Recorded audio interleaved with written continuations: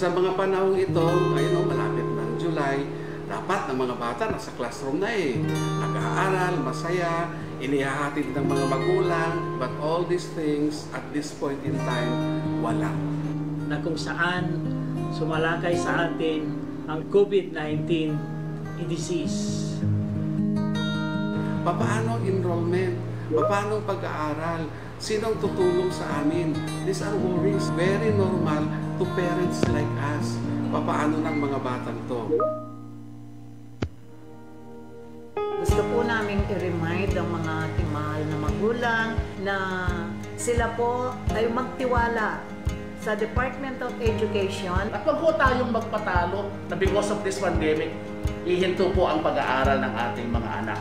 Ginagawa po namin yung lahat ng aming makakaya para na sa ganon ay tuloy-tuloy po ang ah, enrollment po ng mga estudyante po. Gumagamit po kami ng mga Learner Enrollment and Survey Form o yung tinatawag natin LESF para na sa ganon makapag-fill up na po yung mga magulang na wala pong access pagdating po sa ah, internet. Para doon sa coordination namin sa mga stakeholders, uh, particularly doon po sa pagbibigay ng mga learners enrollment and survey form, uh, pumupunta po kami by barangay. Yung boxes na dinala sa mga barangay na yung mga hindi nakapag-enroll ngayon ng online, doon ngayon i-drop yung mga enrollment form ng mga bata. At ang gagawin ng barangay, dadalhin ngayon sa school. At yung mga schools ang magko-collect. masasabi namin na kami ay may kahandaan sa mga iba-ibang modality na gagamitin natin dahil hindi nga pwede ang face-to-face instruction. doon sa online ay nahihirapan po sila. So meron naman tayong tinatawag na modular. kami po sa DepEd ay hindi tumitigil kung paano namin may pagpatuloy ang edukasyon ng inyong mga anak. Kaya po, magtiwala lamang po tayo sa DepEd. Thank you sa DepEd kasi kahit nasa pandemic tayo, Marami naman po paraan na makapagpatuloy ang ating pag-aaral sa ating mga kabataan. ang ating kalusugan, ang ating safety, ang uh, binabalanse natin. Kami ay nananawagan. Alam namin na ang prosesong ito walang sapilitan. Ang prosesong ito ng enrollment ay ang final decision ay nasa parents, nasa guardians, at saka sa mga bata mismo. By the way, marami din kaming requests ng mga bata mismo na nagpapadala ng mensahe sa Secretary of Education na nagsasabing gusto ko nang mag-aral, gusto ko nang bumalik sa school, gusto ko nang ipagpatuloy ang aking learnings. Mga bata mismo ang nagsasabi. Sa mga lugar na kung halimbawa sobrang dami na sila at saka umaapaw na sa mga kota ang mga ah, batang na i-enroll, maraming parents na nakikiusap, pwede bang i-accommodate yung aming anak?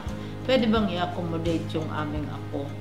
Kaya kami ay nakikinig sa mga pananawagan ito ng mga parents. At kami din sa DepEd, nanawagan din sa mga parents.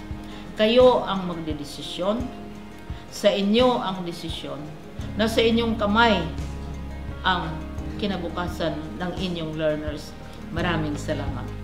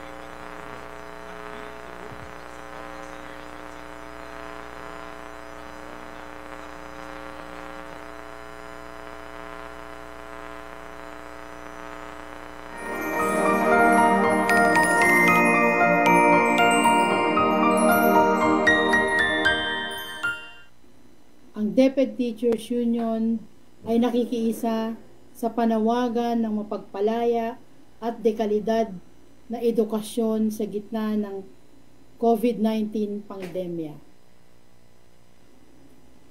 Ang DepEd Teachers Union bilang responsable, resonable at realistikong unyon ay naniniwala at buong pusong sumusuporta sa panawagan ng DepEd at ng ating pamahalaan sa pagpapatuloy ng Basic Education Learning Continuity Plan.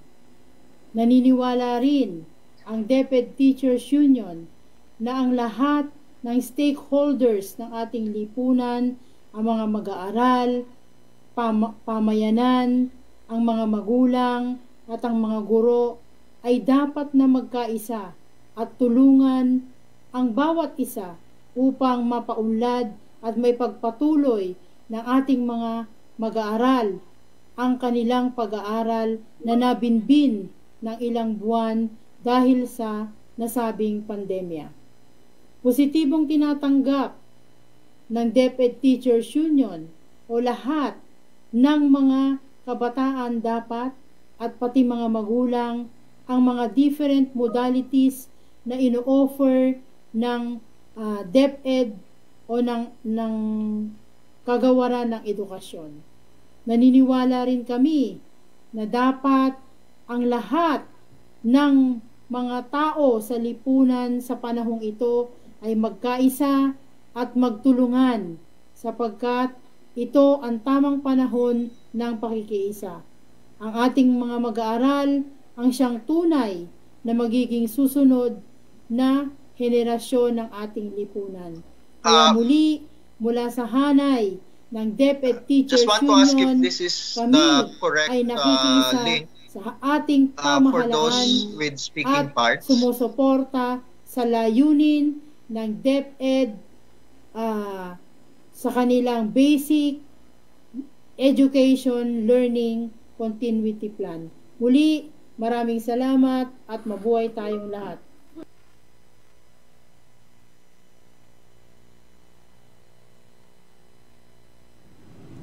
lahat.2020 Sir, has wala taken po ako a big naririnig from toll the in our others. lives. I'm also asking One Johnson. question has run up into my Ah, mind okay. over Uh, and over again. pa- paki-inform What na lang is ako when next for our future? if we are in the What is correct next for uh, link. education?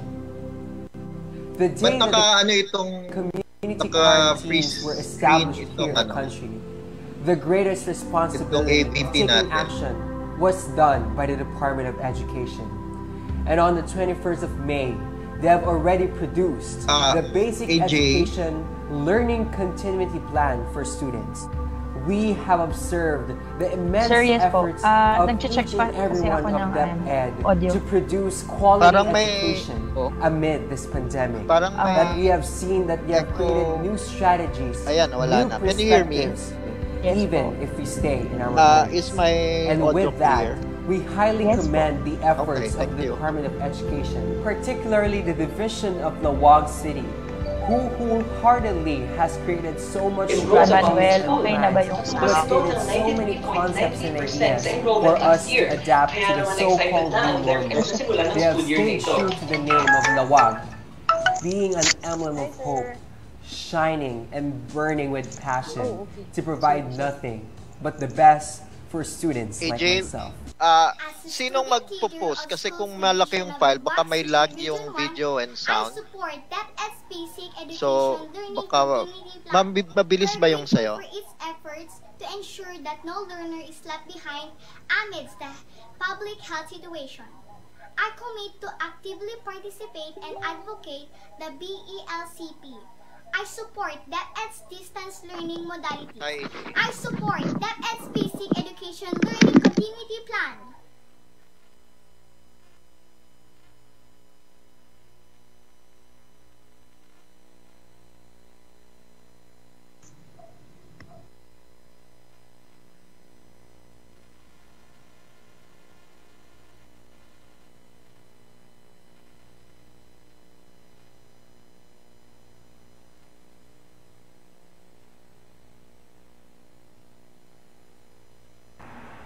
Bilang isang magulang, at presidente ng La Union Federated Parents Teachers Association, kami ay isang daang sumusuporta sa programa ng Department of Education ng Oplan Balik Eskwela, Brigada Eskwela, and to the DepEd Learning Continuity Plan. Ngayong darating na Agosto, ang pagbabalik sa eskwelahan ay malaking pagsubok sa ating lahat. Mga magulang, kailangan natin magtulungan. Magkaisa para mapuksa ang COVID-19 pandemic at tuloy-tuloy pa rin ang edukasyon sa ating mga anak. We as one.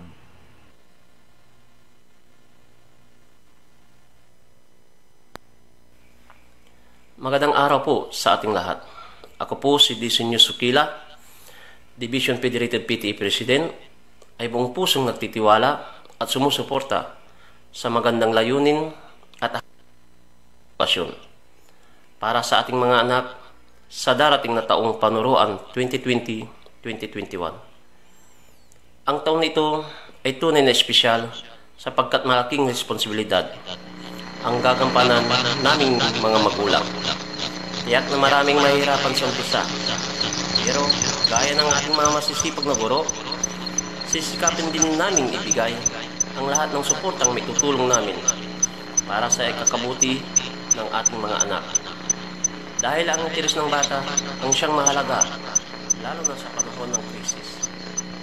Muli, nakakaasa ka.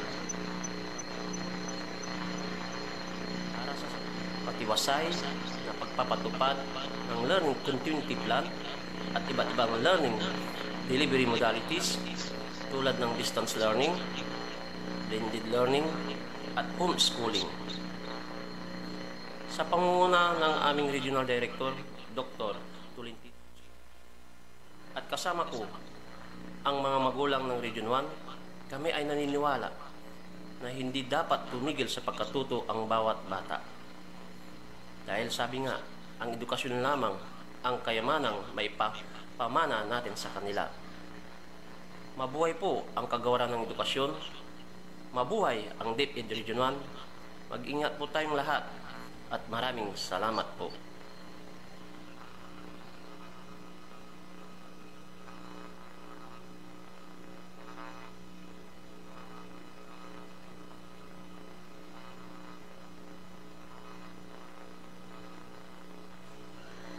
to all our education champions, led by our beloved Secretary of the Department of Education, Leonor Magdoles, Biones, magandang umaga po sa ating lahat. It is always an honor for World Vision to be part of campaigns that strongly uphold the rights and welfare of uh, the learners and uh, children in general because uh, through this we are all directly investing in the lives of our future generation. And I believe that it's through partnership that we will be able to strengthen human capital and nation building. In helping children, families, and uh, communities, uh, we uh, World Vision uh, make sure that our programs and services in education, health and nutrition, child protection, uh, livelihood, disaster risk reduction, and uh, spiritual nurture are all aligned and contributing to the plans of the government and also relevant to the needs of the children, especially uh, vulnerable. It is our vision that every child will experience life in all its fullness. Uh, recently, we conducted an assessment on uh, the impact of COVID-19 to children and families and one of the critical uh, concerns that children express uh, is actually in the form of a question. Uh,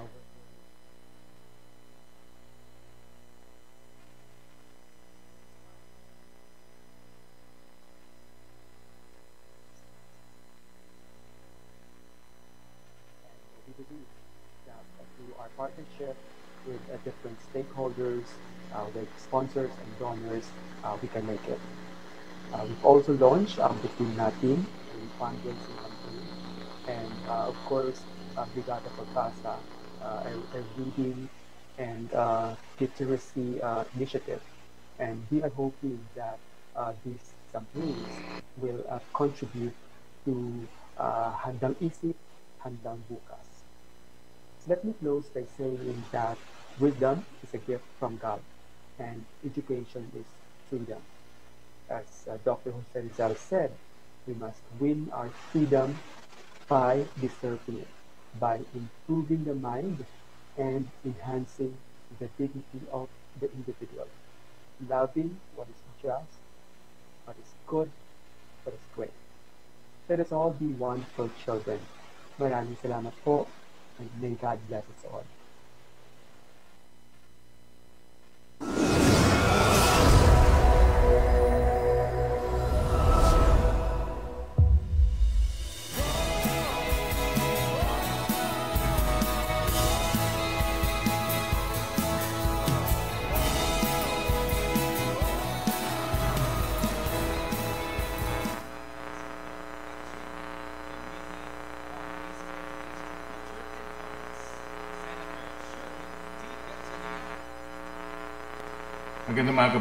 Our kay Secretary champions, sa DepEd's family, uh, sa ating mga principal, sa ating mga guro, sa ating mga magulang. Muli, binabati ko po kayo ng isang magandang umaga. Ah, itong mga nakaraang linggo, marami pa akong naririnig at nakikita sa television iba't ibang grupo na imposible po itong ginagawa ho natin. Ah, kulang ho tayo sa kagamitan, kulang ho tayo sa paghahanda, at ah, imposible po ang pinapagawa po sa ating mga guro at sa buong kawani po ng Department of. Aminin ko po, ito ay hindi po madali. Ah, itong pandemya na ito ay hindi pa po natin nararanasan. At itong napakalaking gagawin po natin sa Department of Education at sa education sector ay hindi pa po natin nagagawa at nararanasan. Pero mga kasama, hindi po tayo makakatulog ng gabi kung nalalaman natin ang ating mga anak ay naiiwanan. Ang ating mga anak ay uurong pagdating sa kaalaman. Ang ating mga anak ay hindi matututo. Sa mga pribadong sektor, maraming mga eskwelahan ay nag-umpisa na ho sila. Pero paano naman po yung mga kabataan ho natin na naiiwanan po at hindi po pwedeng makapag-aral? Mga kasama, alam ko po na malaki po ang hamon na hinaharap po natin. Hindi po ho ito madali. Talagang halos imposible po yung ginagawa po natin. Pero mga kasama, hindi ba mas malaking inspirasyon kung naririnig po natin na yung imposible ay ginagawa natin posible? Mas malaking inspirasyon ho sa atin kung yung hindi madali ay nagagawa ho natin at napapakita ho natin na kaya pala. Kaya mga kasama, alam ko ho na yung gagawin ho natin ay kauna-unahang gagawin ho natin sa buong kasaysayan ho natin. Pero naniniwala po ako na ating mga guro, ang ating mga punong guro, sila po ay subok na pagdating po sa ganitong krisis. Subok na ho sila pagdating po sa pagmamahal sa ating mga kabataan. Subok na ho sila pagdating po sa pagbibigay ng edukasyon. At alam ho nila na hindi ho pwedeng may maiwanan. Kahit isang bata, hindi ho natin pwede silang iwanan. Ah, ako ay naniniwala ng ating mga guro at punong guro ay handa na ho dito. Naniniwala po ako na dahil po sa kanilang sakripisyo at pagmamahal, ah, gagawin nilang posible ang imposible. So muli, congratulations po sa ating Department of Education. Kasama niyo po ako. Ah, gagawin po natin lahat ng ating makakaya para masigurado po na itong um, learning continuity plan ho natin, itong distance learning ho natin, at yung pagtuturo ho natin sa ilalim po ng tinatawag nating distance learning ay magpapatuloy. Hindi ho tayo papayag na maiiwan ang ating kabataan pagdating po sa pag-aaral. Hindi ho tayo papayag na magiging mangmang ho sila dahil po hindi tayo ma- makakapagturo sa ilalim ng pandemya. Ito po ay isang paraan para masigurado ho natin na sila po ay magkakaroon ng magandang kinabukasan at hindi ho sila pababayaan ng ating Panginoon. Muli, magandang umaga po sa inyo lahat at magtulong-tulong ho tayo gawin posible ang imposible.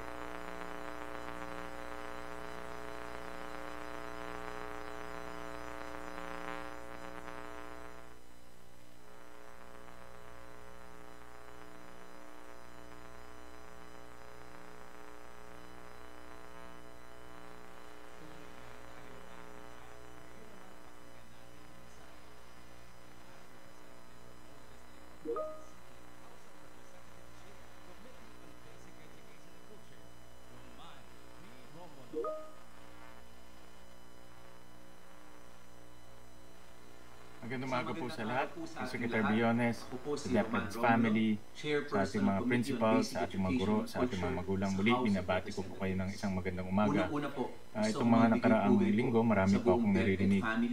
kay Secretary Liling Briones, sa lahat ng teaching and non-teaching personnel sa bawat paaralan sa buong Pilipinas.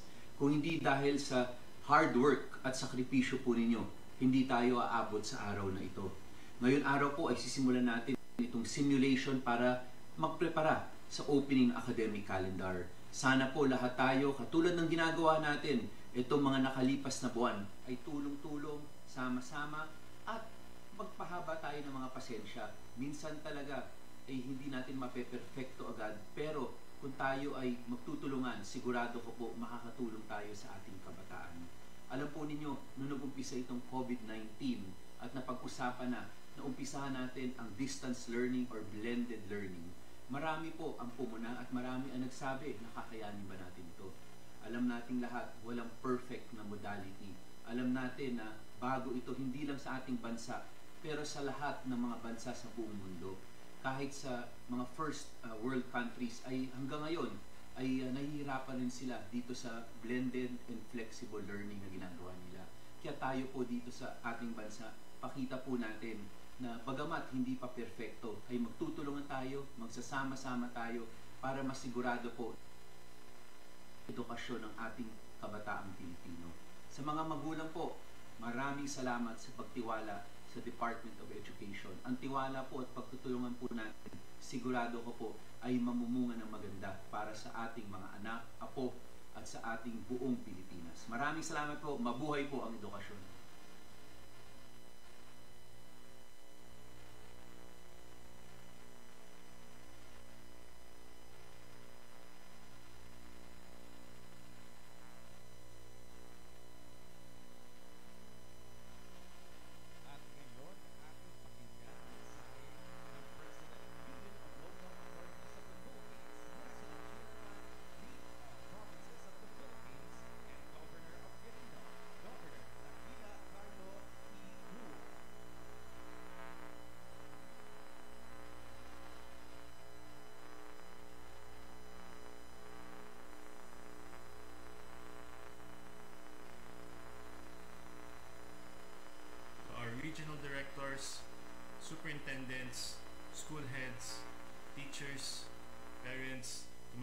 Fellow government leaders, magandang araw po sa ating lahat.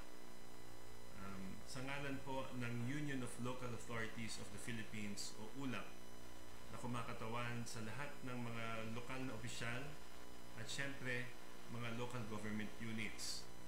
Um, kami po ay ah, natutuwa at nagpapasalamat sa inyong imbitasyon ngayong araw sa inyong National Kick-Off Program na may temang angkop na proteksyon, patuloy na edukasyon at mabisang aksyon.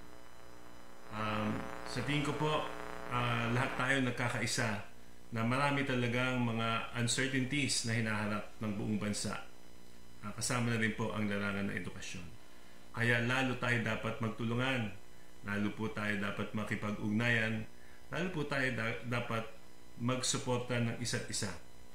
Asahan niyo po ng inyong mga local government leaders ay, at ng mga LGUs ay kapartner ng DepEd sa paghahatid ng edukasyon, paghahatid ng serbisyo, at syempre kasama rin dyan po ang paghahatid ng ah, collaboration and feedback upang ating lalong ma-define ang new normal at mahanapan ng maganda at maayos na solusyon uh, bringing deliver, delivering education but at the same time protecting the health of our children and our teachers as well.